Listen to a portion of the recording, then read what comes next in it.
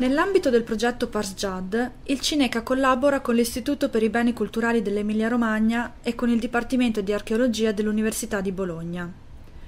Il contributo specifico del Cineca, per il tramite del suo Visit Lab, riguarda l'implementazione di un'interfaccia grafica tridimensionale che possa funzionare come contesto di navigazione di un sistema informativo, nella forma di navigazione di un territorio come quella che vedete ora.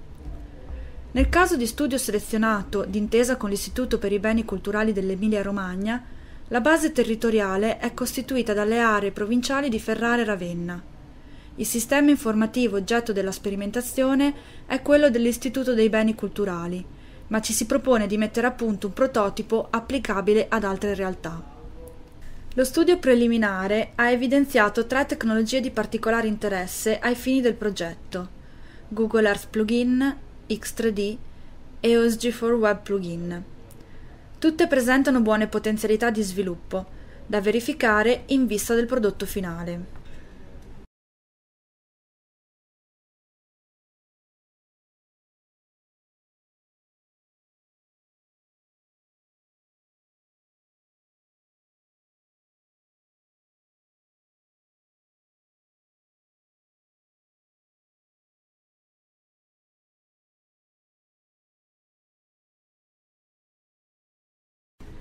Quel che vedete, per esempio, è stato realizzato con Google Earth.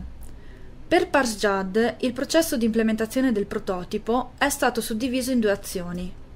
La prima consiste nella creazione di un'interfaccia di partenza in termini di territorio navigabile che consenta di posizionare informazione personalizzata. La seconda prevede la realizzazione dell'interfaccia per la navigazione dei dati all'interno di una specifica ricostruzione 3D. Nel nostro caso si tratterà della modellazione della villa di Russi. In questa fase le attività sono focalizzate sulla prima azione, cioè sulla creazione di un'interfaccia in forma di territorio navigabile con informazione personalizzata. La tecnologia individuata come la più adatta è Google Earth.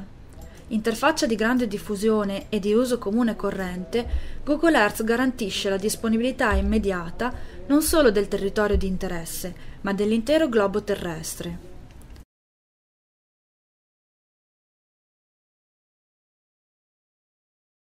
Google Earth è un'integrazione di Google Maps rispetto al quale consente di navigare un territorio con caratteristiche 3D. A differenza di Google Maps, che dà accesso unicamente a mappe a due dimensioni, Google Earth permette infatti di esplorare un territorio molto simile al reale. Google Earth permette di passare da una modalità all'altra attraverso il suo viewer. L'originalità della proposta del Visit Lab del Cineca sta nella personalizzazione del territorio, con riferimenti, collegamenti e modelli 3D inerenti ai dati messi a disposizione dal sistema informativo da collegare all'interfaccia. Nel prototipo per ParsJAD che state vedendo sono stati utilizzati riferimenti GIS per posizionare sul territorio i classici segnalini messi a disposizione da Google Earth. Il territorio mappato comprende alcuni casi di esempio. Quacchio, Brisighella, Casaglia, Castellaccio Massa Forese.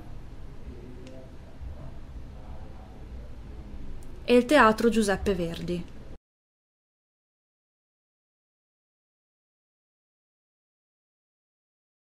Nel comportamento standard dell'interfaccia, un singolo clic mostra un balloon contenente alcune informazioni di carattere generale e il link alla pagina corrispondente nel sistema informativo di riferimento. Le informazioni inserite nel balloon sono in questa fase ancora indicative e verranno dettagliate in seguito. Con un doppio clic sul segnalino si può scendere in dettaglio sul sito. La peculiarità dell'implementazione sta nel fatto che la pagina informativa del database, in questo caso dell'Istituto per i beni culturali, non è integrata nell'interfaccia Google Earth, se non in termini di riferimento ipertestuale. In questo modo si ottiene un'interfaccia adattabile alla presentazione dei dati anche di altri sistemi informativi.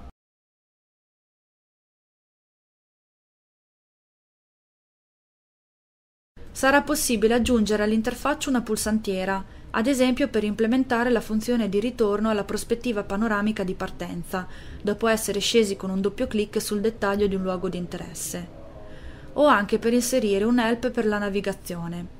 Nel nostro esempio si è deciso di linkare direttamente la pagina di help messa a disposizione da Google, anche perché possiede già la traduzione in più lingue.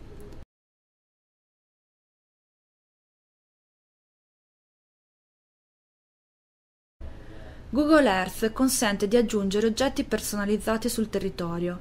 In questo modo sarà possibile posizionare non solo modelli 3D specifici a bassa risoluzione, quale sarà quello della villa di Russi, ma anche modelli standard per evidenziare diverse realtà, quali siti, musei e altro. È anche possibile inserire immagini significative per evidenziare i siti, come abbiamo per esempio già visto per il caso di Brisighella. È infine possibile definire tour specifici che portino l'utente a navigare percorsi ad hoc sul territorio, come per esempio quello già mostrato nella parte introduttiva di questo filmato.